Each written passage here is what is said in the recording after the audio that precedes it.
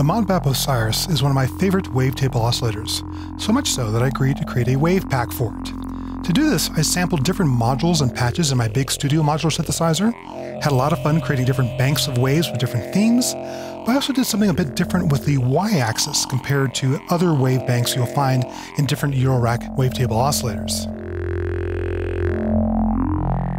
I'll move to a higher pitch here. I turn down the modulation for now, turn down the x-axis. Let's go through the banks so I can describe the different sounds to you. The first bank is what I call my East Coast bank.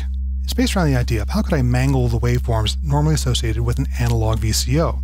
The first few waves are based on audio rate crossfading, where I go between two different waves modulated by a third wave at audio rates.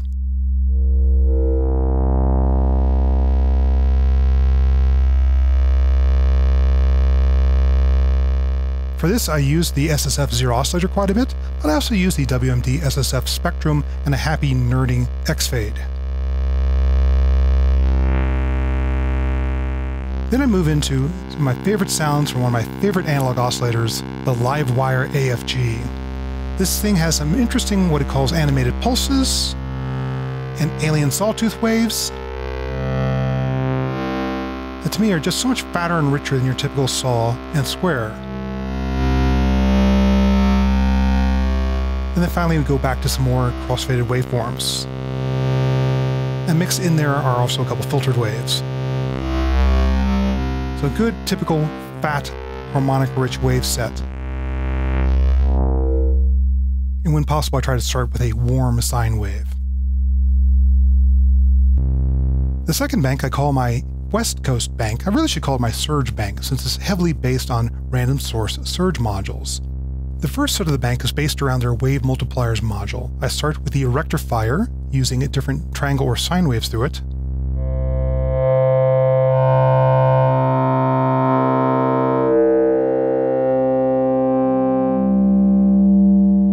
Then I move on to their wave folder section.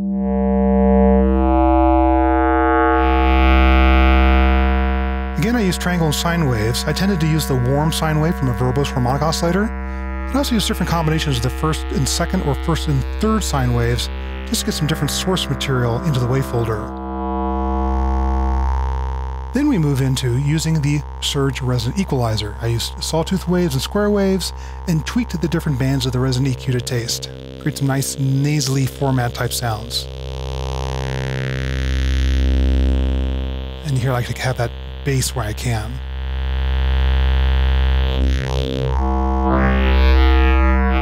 So different sets of harmonics for you there. The third bank is what I call the Formant bank. I love Formant filters and I love vocalish sounds. The first half is a sawtooth wave through the Lima Flow Moto Mouth digital Formant filter, and it really emphasizes and focuses on vowel sounds. I did a little hand tweaking some of the harmonics too on this one. The second half of the X waves in the Formant set focus on a couple traditional triple bandpass filters, such as different waveforms, particularly sawtooth waves, through the three Sisters by Mannequins, and then through the Rare Waves Grendel, and I tweaked the band's taste to create these different sounds.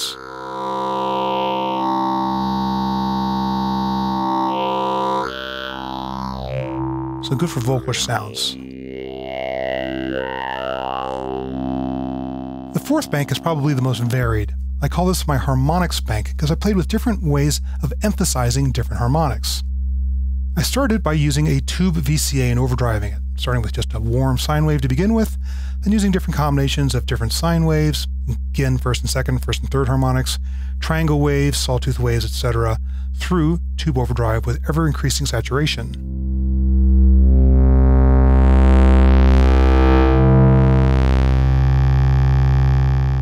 Getting nastier and nastier.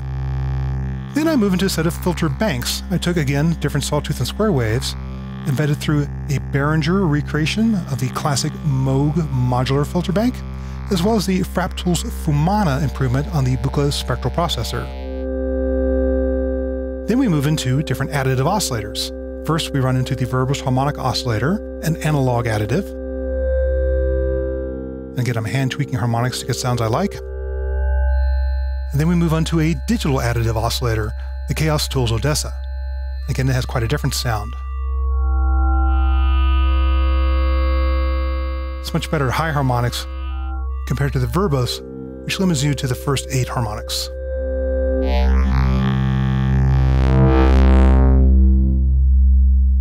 So you can hear what those waveforms sound like along the x-axis, which is the main timbre variation. But I did something different with the y-axis.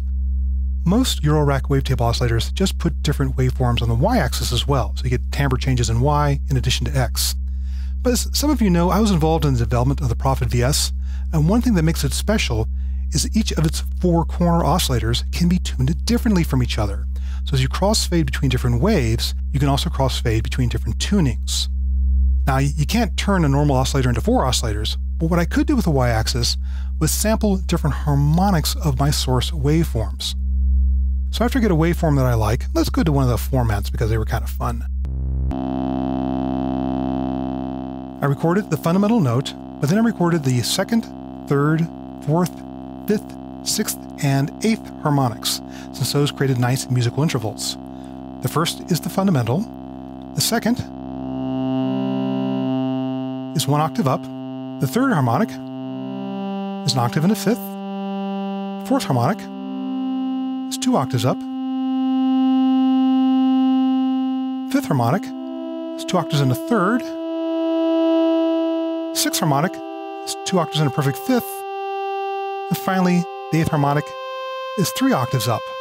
So this allows you to have different ways of changing the relative tuning of this oscillator while you're playing. For example, I've patched the mod wheel from a keyboard controller here. So I make it a performance controller. It's really fun if you go ahead and bring in another oscillator that's tuned in unison with the Osiris. Because that's where you really get to hear the musical intervals.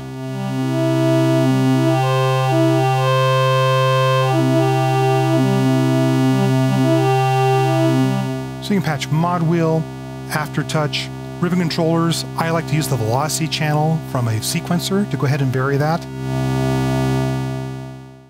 But there's other tricks you can do as well. I like to randomly change what that interval is. So we're going to go ahead and move my mod CV to take the sample hold output, turn the sample hold down all the way to begin with, focus on just the Osiris for now, set up an arpeggiator, and right now let's just play one note.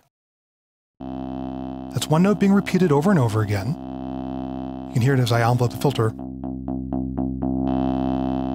but as I bring up the sample and hold, it's going to change what interval we're hearing played for every trigger of the arpeggiator.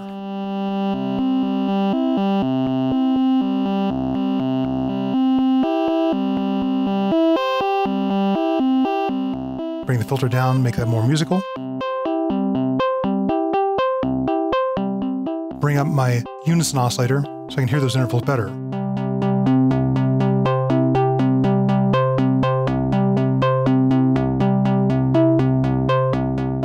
So that's just one note. If we set up an actual arpeggio with a few different notes,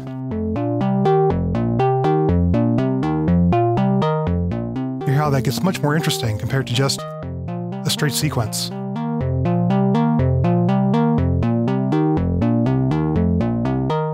Get all these different intervals poking out. I can go back and increase my X modulation too if I want.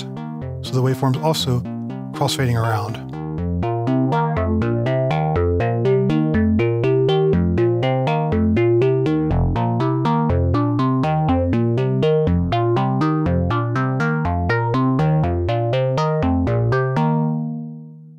You can also create some interesting drones. I'll go back to my low note here. I'm going to take my modulation output from another random wave inside the 512 QVL.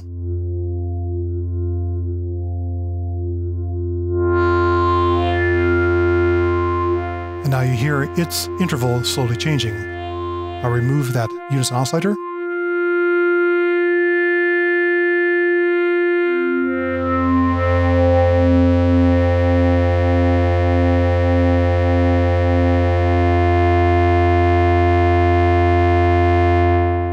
Can set up interesting drones that way as well.